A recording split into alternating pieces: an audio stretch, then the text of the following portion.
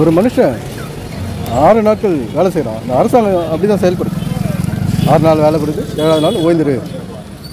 Best உழைக்கிற உடம்புக்கு ஓய்வு கொடு அப்படின்னு இந்த அரசாங்கம் நமக்கு வந்து லீவ் கொடு. ஒரு நாள் சண்டே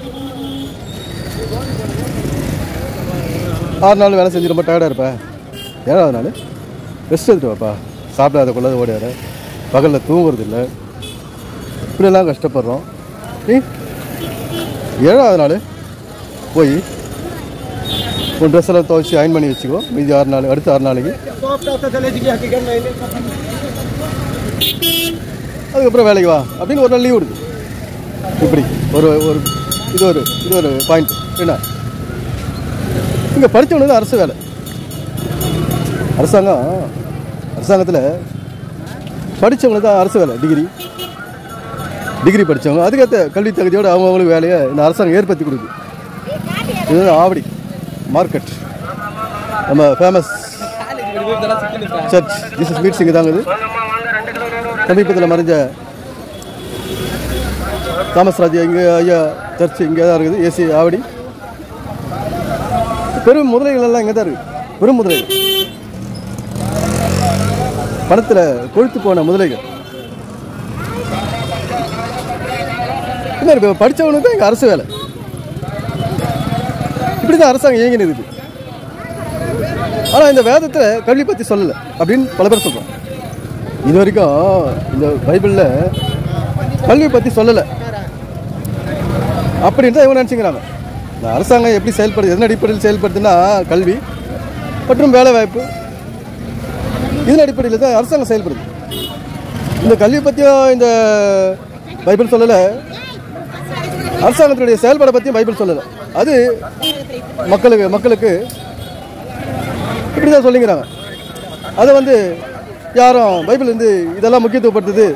சொல்கிறதுக்கு தைரியம் கிடையாது. ஏன்னா இதெல்லாம் உலக பிரயாசம் சொல்லிட்டான். கல்வி வேலை வாய்ப்பு இதெல்லாம் உலக பிரயாசம் சொல்லிட்டான். இப்படி மனுஷனுக்கு ஒரு தாறுமாறான த- தரம் தரமில்லாத ஒரு செய்தியை தான் பைபிள் இருந்து சொல்லின்னு இருக்கான். அப்படி மார்க்கெட். இந்த ஆறு நாள் உழைக்கிறான்.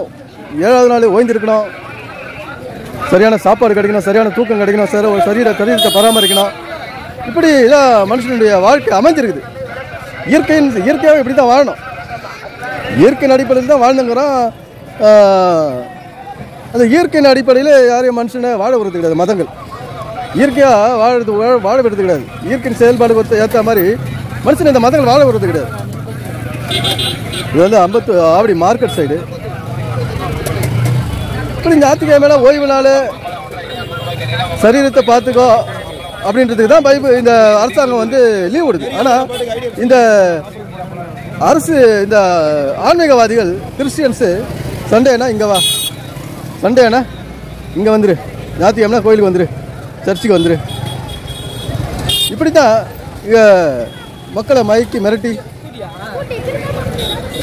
வழிநடத்திருக்கான் இந்த கள்ள போதகர்கள். கிறிஸ்டின்ஸ் மட்டும் இல்லை அவன் மதத்தில் அவன் மக்களை மிரட்டி மயக்கி வச்சுன்னு இருக்கான் ஒவ்வொரு மதத்தில் இருக்கவனுக்கும் அவன் பட்ட கஷ்டத்துக்கும் வறுமைக்கும் வியாதிக்கும் அந்த மதவாதிகள் ஆன்மீகவாதிகள் பொறுப்பேற்க மாட்டாங்க. கையை தட்டு காணிக்க போடு கண்ணை மூடு பூஜை செய்யு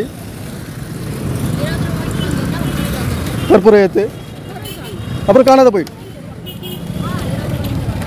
அப்புறம் காணாத போயிடு. எனவே சிந்திப்போம் செயல்படுவோம். நன்றி வணக்கம் நண்பர்களே.